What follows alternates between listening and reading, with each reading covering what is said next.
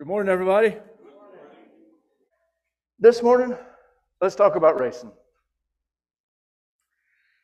Has anybody ever heard the term drive it like you stole it? Now, to understand it, how does someone drive a car who they stole? They drive it to its absolute limit, right? They run it to the ground because they don't care. They run it out, they pick up another one. Use that car up until it breaks, go get a new one. Simply go steal another one. Now, for a beginner racer, this is basically a simple way to explain that the car has to be driven really hard if you ever expect to win. Races come down to fractions of a second at a time. And, but however, the better you get, the more experience you get, you start to sink some money in the car. That advice may not be the best advice. That car wear out quickly. Times will get worse and worse, and the car breaks down. So as you get more experience, you still push that car really hard, but you learn its limits. You learn what it can and can't do. How hard to push the gas pedal before the tires lose traction. How high to rev the motor, get the most power without throwing a rod. When to ease off, when to punch it, when to stop, do some repairs. When you know the car, you can drive it really hard without breaking it and get the results you needed to win. And you're probably thinking it's Sunday morning. It's not Saturday night at the drag races. What are we talking about here? Well, in racing, particularly drag racing, you have to push a car to its limits to win the race. Now, with human drivers, sometimes you break the block, you throw a rod, wreck the car. But imagine if there was a driver so experienced, so good, they could push the car right up to the very edge and get every ounce of performance out of that car, but never push the car beyond its limits. What it could handle. God is that driver. We are the car. And our soul is the prize at the end of the race. Now, this is one way to look at life as a race with God at the wheel. Some sections we'll cruise through, but in some we'll think we're going to break. But God won't let us. He'll steer us through and we'll be better on the other side of things. Now, as you go through life, you ever have those times you seem him push the limits and wonder why? Why has God planned for me? Why is this happening? What in the world is going to come out of this? And right now, we're on year two of the pandemic. I bet a whole lot of the world thinks this way. We've got nearly 800,000 dead in the U.S. Delta variant running through people like prune juice. There's a new Omicron variant coming out. Appears to be trying to one up Delta to be even more contagious. Now, the original COVID 19 was crazy contagious. Delta is insanely contagious. Omicron is trying to do even better. What's going to happen? Where does this go?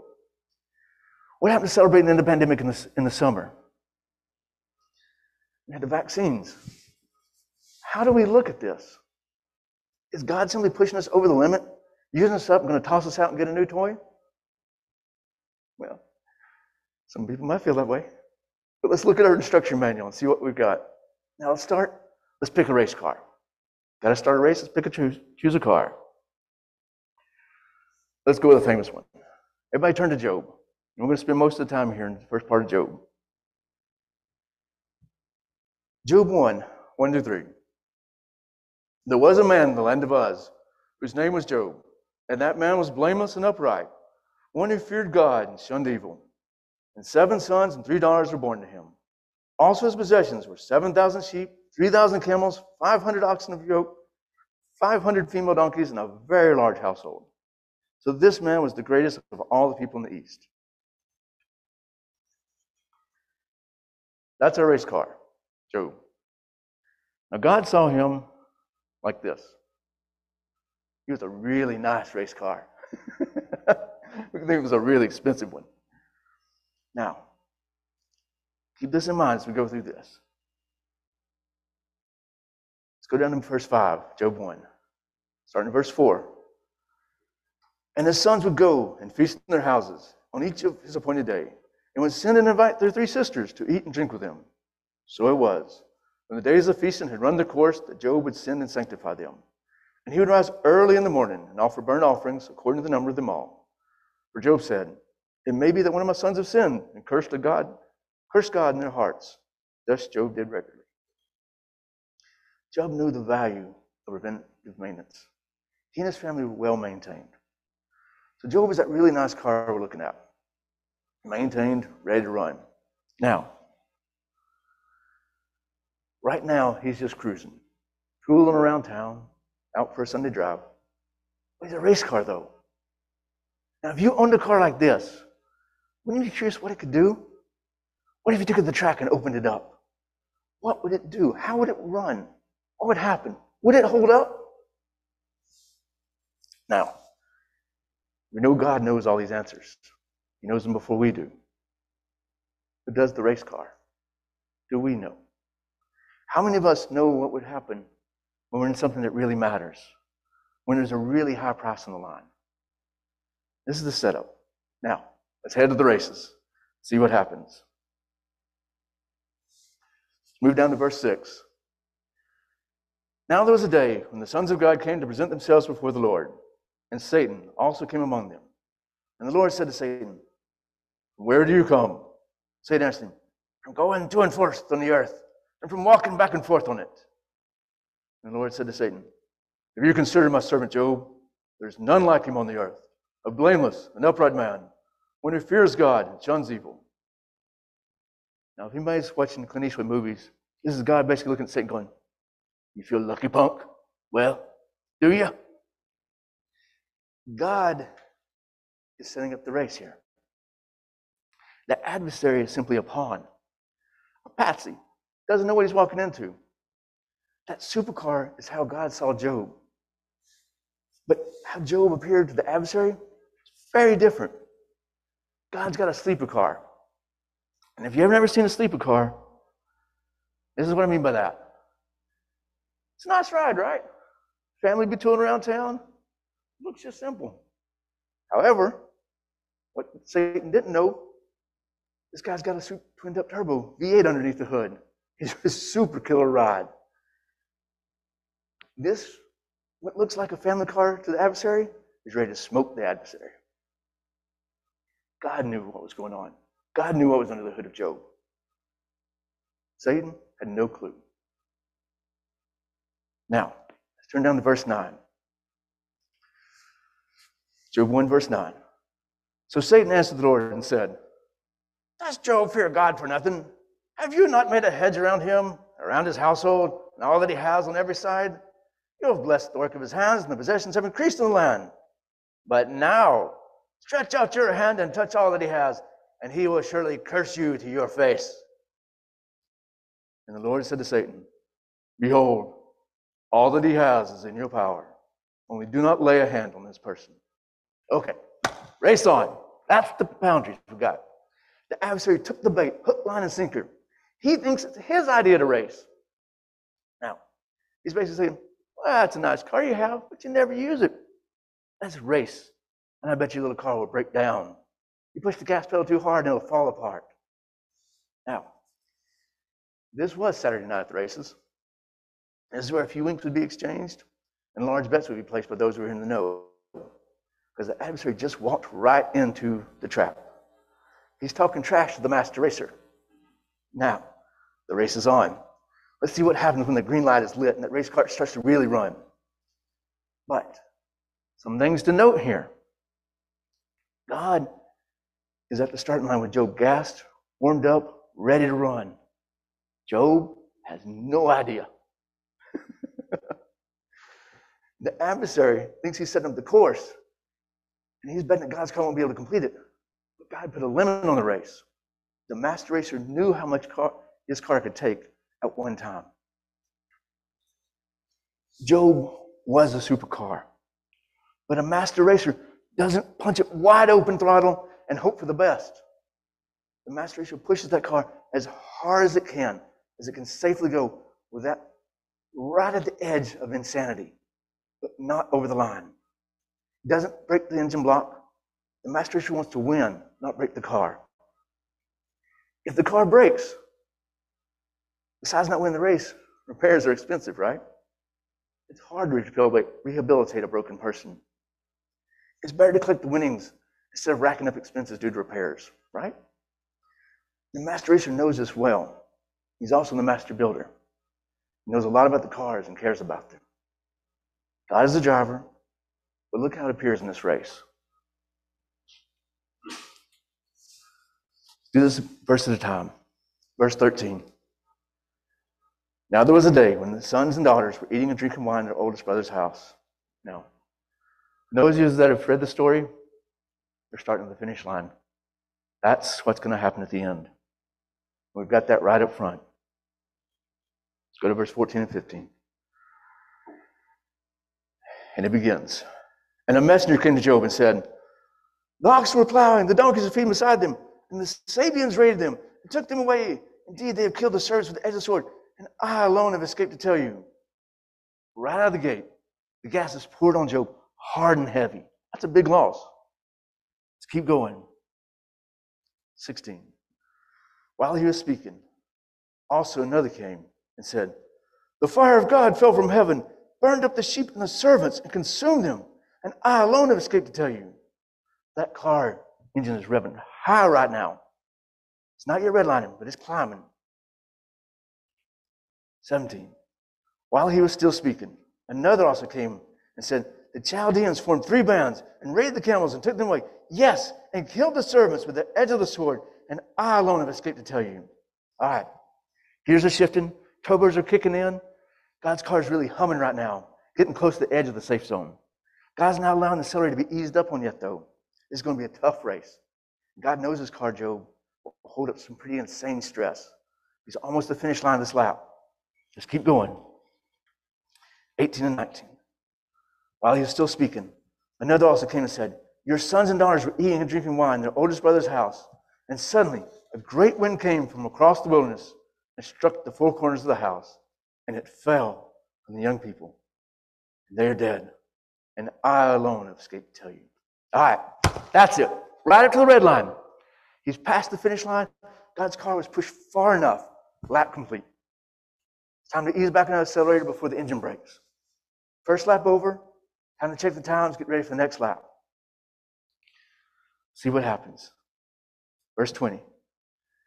And Job arose, tore his robe, shaved his head, and he fell to the ground and worshiped. And he said, Naked I come from my mother's womb, and naked I shall return there. The Lord gave, and the Lord has taken away. Blessed be the name of the Lord. In all this, Job did not sin nor charge God with wrong. God's race car isn't in real good shape mentally. Job was pushed really hard, close to breaking. Notice he didn't break. He's not over that line. He's still running. He made it through the lap. Really great time. Still in one piece. Now, did God's race car enjoy that lap? no. That had to have been hard on him. Being pushed the limit is never enjoyable. Those that work out, when you work out and you get those endorphins, it feel really good. But at the end of that hard workout, your arms feel like they're going to fall off. Your legs feel like they're jelly. You barely make it up the stairs. You don't feel good until later. You realize that you'll survive and can do it again another day. But we're not done. Set up for the second run. Bets were collected from the last run. God smoked the adversary just as God knew he would. But the adversary doesn't learn. He comes back for more. Turns to Job 2. Read the first three, three verses. Job 2, verse 1. Again, there was a day when the sons of God came to present themselves before the Lord. And Satan came also among them to present himself before the Lord. And the Lord said to Satan, From where do you come? Satan asked the Lord and said, From going to and fro on the earth and walking back and forth on it. And the Lord said to Satan, If you consider my servant Job, there is none like him on earth, a blameless and upright man, when he fears God and shuns evil. And still he holds fast to his integrity, although you incited me against him to destroy him without cause. God picks the fight. This is a race worth having. He just smoked the adversary with his car, and yet the adversary shows back up. God dangles a sleeper car in front of him again. Sure enough, the adversary bites. So Satan answered the Lord, Skin for skin. Yes, all that a man has, he will give for his life. But stretch out your hand now and touch his bone and his flesh, and he will surely curse you to your face. And the Lord said to Satan, Behold, he's in your hand, but spare his life. Skin for skin, folks. Stakes are high. Look what God does. Basically, looks him in the eye and says, Let's go. Again, God is in control. God set the limit. It's really at the edge this time, but there is a limit. God is racing to win. The master racer knows the exactly what his car can be pushed to do and what it would take to get there to win. And what's that prize being raced for? What is he winning? The car has to survive, but the car is the prize. God and the adversary racing for Job's soul. It's kind of like racing for pink slips, car titles, in terms of racing. If God lost, you lose Job's soul. The master racer knows how to win and won't make a wrong move to lose the race. Now, in reality, the car is a person, right? It's us. And a person can crash themselves pretty easily, right? Let's remember how Job entered that, entered that last lap. Let's go back to 120. Job 120. Then Job arose, tore his robe, shaved his head, and fell to the ground and worshipped. The horse didn't throw the rider, so to speak. Job let the master racer race. Job trusted that the master racer would not crash. The race was not fun or easy. Whether the master raced the wheel, the race was won. Job's soul was still with God. Let's see what happens in the next round of this race. And this lap is really quick. Not really a lap, but a drag race. This is how God's viewing Job. Now, does anybody know what these are? This is what they call a top fuel dragster. You ever been one of these races? This is awesome. Fuel dragster. When it starts up the engines, the, the shakes, the stands. You can hear from miles around, and they go woo, down the track. It's awesome.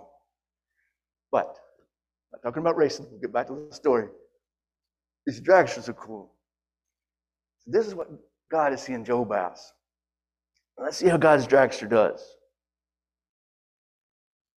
So Satan went out from the presence of the Lord and struck Job with painful boils from the sole of his foot to the crown of his head, straight to the finish line for the race.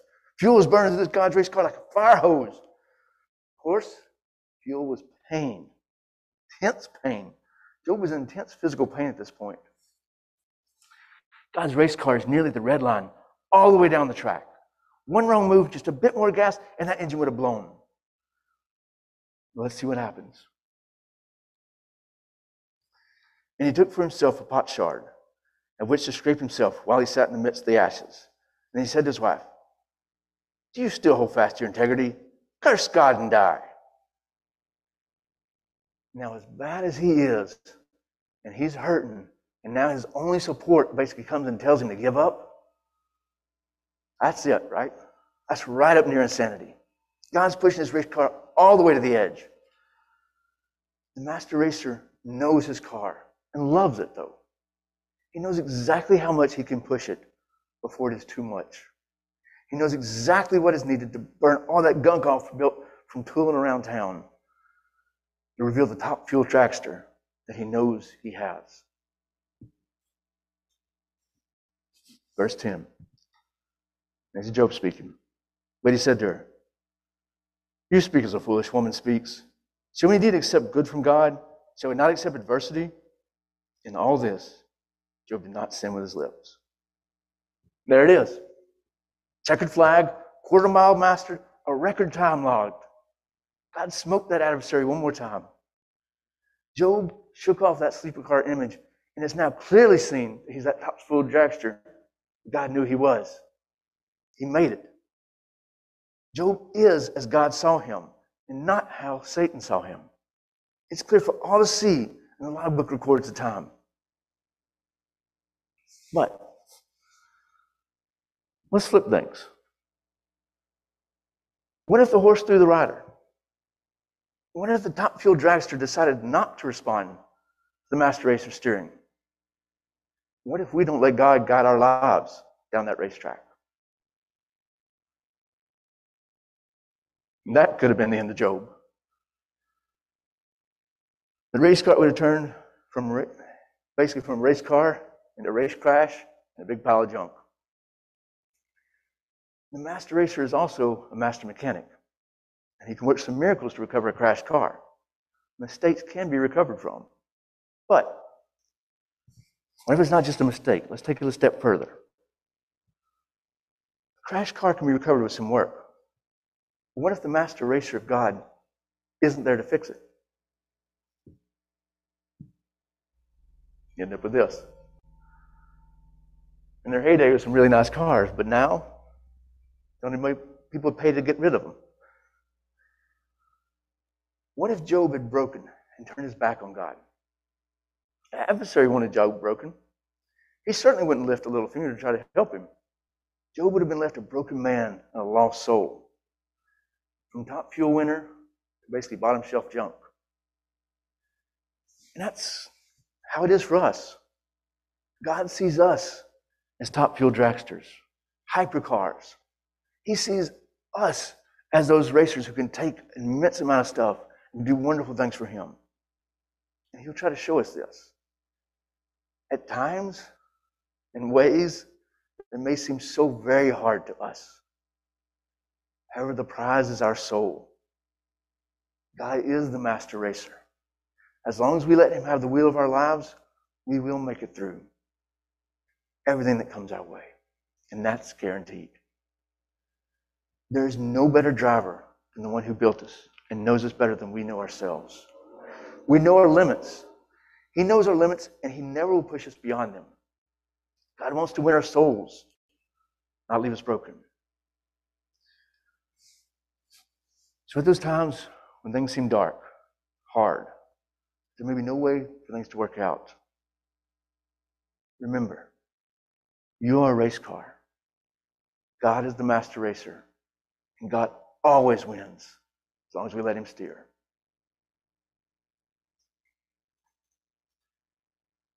That pain, stress, the burden you're faced with, maybe God turned on the gas to race for your soul and reveal who you really are. We're all unique. There's all types of race cars, and we all have different races. You never know what you're going to come up with and who you are. But make no mistake, you are a race car in God's eyes. You are incredible. And if you let Him drive your life, you will win. And winning sometimes takes pushing that car to its very limit. And that's tough. And that competition is tough, and those stakes are high. You may get pushed beyond the things you ever even thought you could do. But with God, you will.